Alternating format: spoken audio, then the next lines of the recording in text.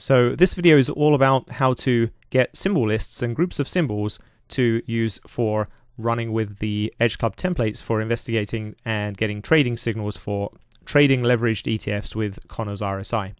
So when you do a fresh install of EdgeClub, this screen is, is what you will see.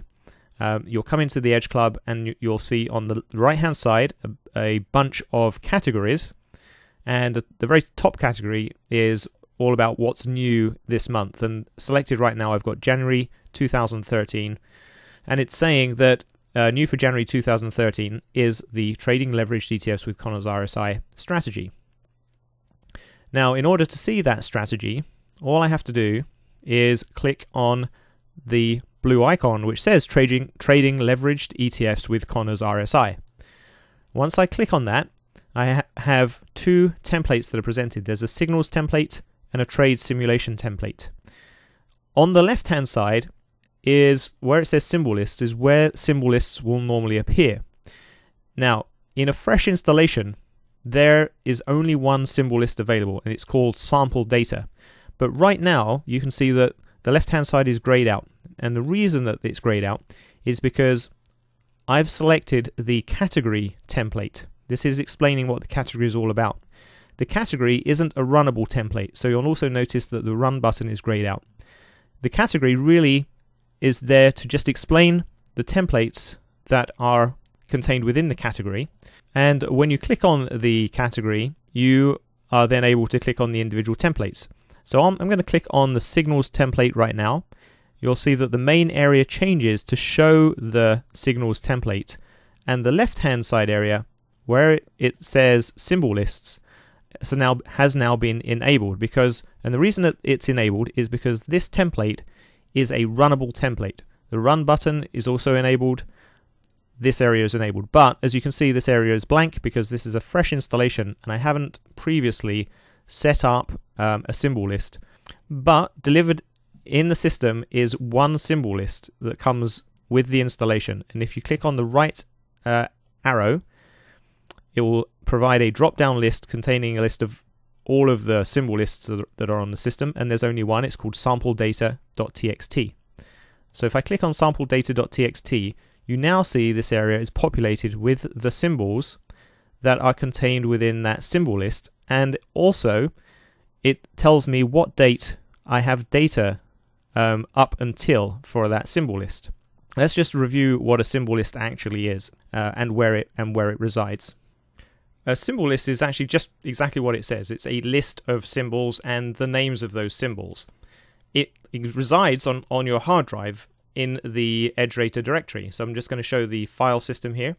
You can see that under Documents, under My Documents, EdgeRater, there is a subfolder called Symbol Lists. Um, by default, the only thing that exists within that subfolder is some list called sampledata.txt. So I can open sampledata.txt. I can open that with Notepad.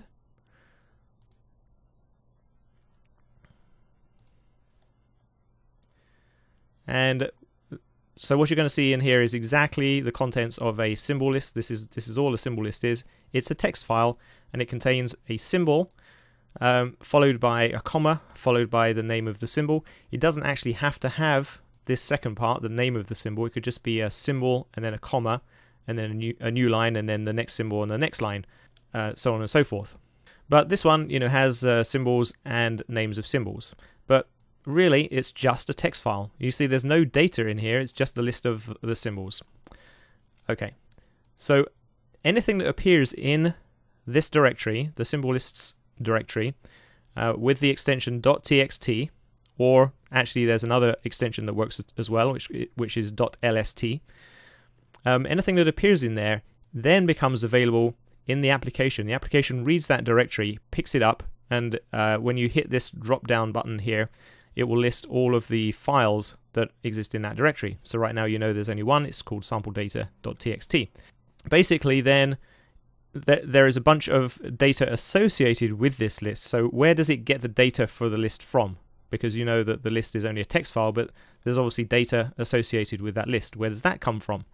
Well, once you've selected a symbol list, you can then hit the little pencil icon here, which is the symbol list edit button, and it will then show essentially the contents of that symbol list, i.e., the symbols and the description of the symbol. Um, I can go to the data. Well, first of all, notice the data provider is set to be Yahoo. So what that means is when I hit the update data button, it's going to go and fetch data from the Yahoo server. And how much data is it going to fetch? That is determined by the data update options that are set on the uh, third tab here. And by default, the all of the lists are set up so that they only fetch the most recent two years of data. But you can change that, or you can choose a specific range of date, dates that you want to get data for. But I'm going to leave this set to the most recent two years. Now let's look at the Data Snapshot tab. The Data Snapshot tab is then uh, telling you how much data is has actually been fetched and exists on the system for that symbol list. So essentially this tab is split into two halves. There's the left side, which is the list of symbols. Then there's the right side, which is the actual indication of how much data there is. And the middle box will tell you whether the um, whether the symbol is contained in the list and whether there's data contained in the snapshot. Because sometimes you will have a list and it's uh, it might have an invalid symbol. So when you press the update data button, it's not going to be able to get that data from the data provider. And, and therefore the snapshot, which is the thing that is actually providing the data to uh, to the EdgeClub, the snapshot will not have data for uh, for that symbol. And so here you could, you're quickly able to see by scrolling down here which um, symbols do not have data associated with them. And then you could remove those symbols or, or try and resolve that problem if you found that to be a problem. Uh, the other thing to know is if you, you know, we're going to get a little bit uh, involved here, um, but just so that everyone knows, the snapshots are also stored on the file system. So you'll notice that another subfolder of EdgeRater is a folder called snapshots. And this is a uh, essentially a binary file. It's it's like a, a little mini database which contains all of the data for the symbol list, and it's associated by um, the fact that it has the same name. Uh, you never have to actually do anything with this snapshots directory. Uh, what will happen is when you do an update data, this uh, file will be updated and it will then contain the latest data. But just so you know, that's where the uh, the information resides. So now you can see that this particular snapshot only has data up till uh, 9 28 2012. If I now hit the update data button, it will go and fetch data from the data provider, which is set to be Yahoo, and it will get it for the most recent two years. I'm not going to do that right now because that will take a few minutes to run. Okay, so that's a sort of general background of symbol lists and snapshots and uh, and where they reside. So let me just close that down. So now that I have a symbol list selected on the left, I can run this template. And what will happen is this symbol list is now the input to the template. And um, the instructions for running the template are actually listed in the template info uh, tab of the template. And as it says here, to run the report, select a symbol list and press run. So I could do that with this default symbol list and it would give me the signals up to 928 2012. Let me just do that because this template is a very fast template to run. You can see the progress bar will run and these are the signals that are occurring for that list. Of course, this is up to 928 2012, so these are not current signals. I would have to update my list first and uh, and then run the template and it will be giving me current signals.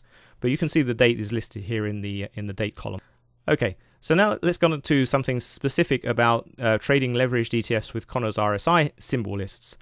This, these strategies are designed to work with leveraged ETFs. Where do you get your list of leveraged ETFs? Well, you may have your own list of leveraged ETFs. You may have downloaded it from the internet. Remember that ultimately, as long as the lists exist in this folder, Symbol Lists folder, as a text file, they're available to the EdgeClub application. The, I've prepared within this worksheet a list of symbols that can be used. And so if you click on the symbol lists tab on the worksheet, it will tell you how to extract these lists and to uh, how to put them onto your hard drive. Essentially, each list is in a column. The first column here is called the 2 times equity L list. And we go through, we've got um, three or four lists. There's two times equity L. There is uh, two times equity long and short. There's uh, three times equity L, three times equity long and short, and then two time two and three times equity L, and uh, two and three times equity long and uh, long and short should be the last one. There we go. So I'll show you how to take the two times equity long list and put that into a symbol list on the hard drive. So select the very first row of this list. So I've selected that cell actually. And then I'm just going to go to the bottom of the list. It just goes down to here. I'm going to press my shift key, press the left mouse button. You'll see the whole uh, column is highlighted. So all I then do is do the control C. Control C is the uh, Windows operation that's very common in, in every Windows application for copying to clipboard. So having pressed control C, this list is now on the clipboard. What I need to do is get that into a text file. So what I would do for that, there are several ways to do that, but I'm going to just open up Notepad. It's a text application and it's on every Windows installation. And then I'm just going to press Control V, which is the paste operation. And you can see that it's pasted in the uh, the symbol list for me. So now, uh, guess what I have to do? I just have to save this into the following location. Uh, so what I'll do is I'll, just to make that easy for me, I'm just going to copy that location. And then I'll say in uh, File, Save As.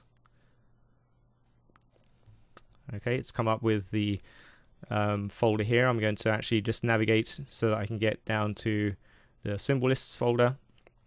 And I'm going to give it a name of uh, whatever the symbol list name was, which was, I believe, 2 times equity L. And it will save it with the .txt extension by default. So I'm just going to save that. And uh, that is done. So now, ha having saved that, uh, you'll notice first of all that the left hand side is grayed out because in order to get to this list I had to click on the trading leveraged ETFs with ConnorsRSI category which is not a runnable template. So in order to, to get that side enabled I need to click on a template that is runnable like the signals template and then I should oh, find in my list here that 2 times equity L is there. If I click on 2 times equity L it turns out that nothing is listed in here. And the reason for that is that there's no data that there's no data has actually been downloaded for this list yet. So I can click on the edit um, icon, make sure my data provider is set up properly for Yahoo. I'm going to get two years worth of data, and you can see that in the snapshot area, there is no snapshot data. And so all I have to do is update this list. And the way that I would update the list is I can either press the update data button here, or I can press the update data button right here, the end of day update. So let me do that. Progress is noted down at the bottom here, so it's updating all of the symbols. When that's finished and it's it's gone out to Yahoo to get that data, I now have the list of all of the symbols and the date that they have been downloaded up until. And uh, the time, so it's noted here that it's end of day data. Alright, so now I have that. All I have to do then is press run and I get the symbols for today. And uh, in this particular list, the two times equity long list, you see that there are no no signals. All right, so let me quickly go through that process again, and I'll, this time I'm going to get the two and three times equity long and short list, and there definitely will be signals for that list. So, uh, and you can just review what I'm doing by uh, following along with this. Clicking on the category, clicking on symbol list, going to the column that contains that list, which is I'm looking for two and three equity long and short, selecting that the first cell, shift clicking to select the last cell, pressing Control C to do the copy. Coming over to uh, Notepad, I'm going to open up a new Notepad application and I'm going to Control V to paste that in and then I'm going to do a file, save as, and I'm going to save that as 2x 3x equity ls.txt. By the way, you only have to do this once. Once you've set this up, it's done, and you never have to worry about that again. Okay, so now I go back to the signals template, go to my 2 and 3 equity long and short list, hit my, I know all the data's kind of, the settings are correct for this list, so I can just press end of day update. Uh, I can see that it's going out to Yahoo to update this data. I'm just going to pause this video while it does that update. Okay, it's nearly finished, and so now I have that data, and now I can just press run and see the signals. So here are the signals now for uh, the two and three times equity long and short list. And they're all in there. Okay. When I run the application again, all of this information is retained. I don't have to create a new list. All, all I really have to do on a daily basis to get the signals is come to the list, press update data or end of day update, and I'm done. Now, if it's in the middle of the day and you want to get signals for intraday, you want to get intraday signals to find out if there is a signal occurring and you want to be trading at the market close, you can press the button next to the end of day update button, and it's it's the intraday update button. I'm going to press that right now. Today is the 11th, by the way. You see my end of day data is only up until the 10th. But if I press the intraday update, it's going to go to the uh, the Yahoo intraday server, and the market is actually closed. So, but it's still allowing me to get the, the closed data. So it's now saying that I've got data through to the 11th uh, up until the time which is uh, 4 o'clock in the afternoon when the market closed. Now I have a full day's worth of data for, uh, for those symbols. And I can press run again, and uh, now I'm looking at uh, today's signals. Uh, another question that's asked um, sometimes is, what if I don't want to run the strategy against all of these symbols? I only want to run against a few of them. Well, I can make sure that I only have those ones selected. So I can unselect all of these. And then if I just wanted to run the strategy against, um, let's see, I want to run the strategy against uh, DDM. I can select, put a check mark next to DDM. I can hit run, and now DDM is the only line that's showing me a signal. Uh, and there are no signals actually for DDM. But if I'd selected one that where there was a signal, and we know that QID, I believe, had a signal. So let me find that in the list. Uh, I'm going to sort by symbol name. There's QID. Let me select that and hit run. And now we can see the signal here for QID. So that's it for a more in-depth look at symbol lists, um, you know, how to create symbol lists, where the data is coming from, where the data is saved on the hard drive. Um, the most important thing to remember is that in order for the EdgeClub software, to read a symbol list, it has to exist in the EdgeRater symbol lists directory. Once it's in here as a text file, it will be read and available within the EdgeClub. Uh, then the other important thing to remember is that when you first put a list in, this area will be blank because there's no data associated with that list yet. So what you have to do then is make sure that you've got your data provider set to the correct location and that you have updated the data. And you can always verify how much data you have by going into this data snapshot tab and just taking a look at the um, columns on the right hand side. So that's it. Thank you.